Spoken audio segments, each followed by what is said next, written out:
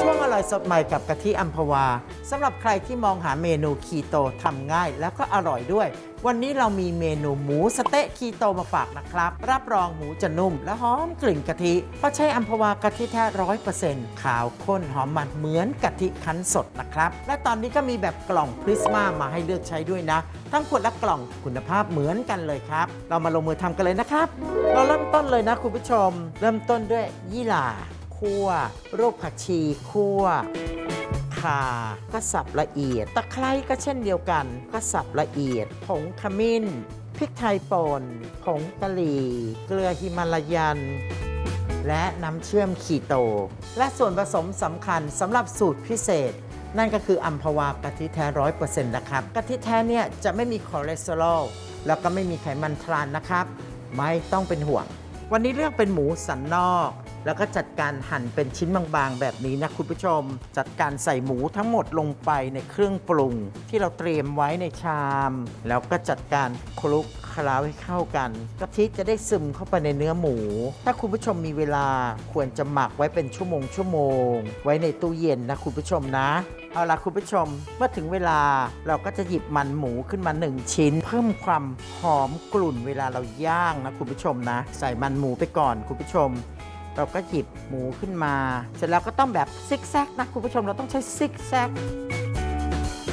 ใจถึงหน่อยนะคุณผู้ชมเราก็เพิ่มสักหน่อยหนึ่งเนี่ยคุณผู้ชมดูสิ ไม้สวยเชียว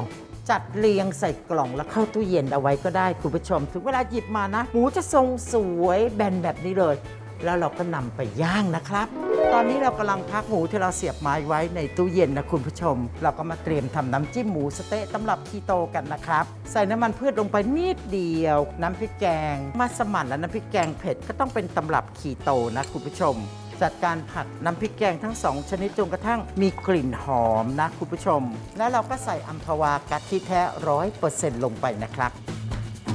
ส่ไปนิดนึง เสร็จแล้วเราก็ผัดให้แน่ใจว่าเครื่องแกงของเราเข้ากันดีกับกะทิ เอาละมั่นใจใส่หมดเลยครับ สำหรับน้ำจิ้มหมูสเต๊ะตำรับคีโต มีขีดจำกัดเรื่องของการใช้บรรดาถั่วนะครับ วันนี้จะต้องใช้เป็นอัลมอนด์อบบดหยาบนะครับ แล้วก็งาใช้เป็นงาขาวคั่ว แล้วก็บดให้ละเอียดนะครับรสเค็มนะครับ เราก็ใช้เป็นเกลือป่นฮิมาลายัน น้ำมะขามเปียกเพิ่มรสเปรี้ยวนิดหนึ่งนะครับ และความหวานนี่ก็สำคัญต้องใช้เป็นน้ำเชื่อมคีโตนะครับ โอ้ยน่ากินมากเลยอะหอมหอมนะคุณผู้ชมอาหารตำรับคีโตนี่ดีต่อสุขภาพ เราก็ชวนรับประทานจริง ๆ ครับ พอเสร็จเรียบร้อยเราจะพักน้ำจิ้มหมูสเต๊ะตำรับคีโตนี้ไว้จนกระทั่งเย็นสนิทนะครับคุณผู้ชมเอาละ เตรียมอาจารย์กันดีกว่านะครับสำหรับการเตรียมนะครับ ส่วนผสมที่สำคัญในการทำอาจารย์นั้นคุณผู้ชมครับ น้ำส้มสำหรับคีโตต้องเป็นน้ำส้มสายชูหมักนะครับ น้ำตาลไม่ใช้เราก็ใช้เป็นน้ำเชื่อมคีโต เกลือฮิมาลายันนะครับ ทั้ง 3 อย่างเคี่ยวจนกระทั่งเดือด พักไว้จนเย็น เดี๋ยวเรามารับประทานคู่กับแตงกวา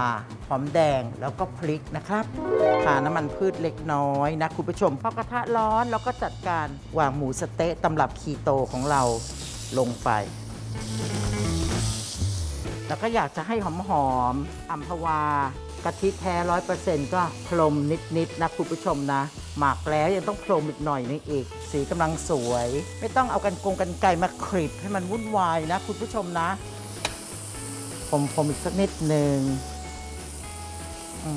กลิ่นหอมจังเลยอะ เป็นไงคุณผู้ชม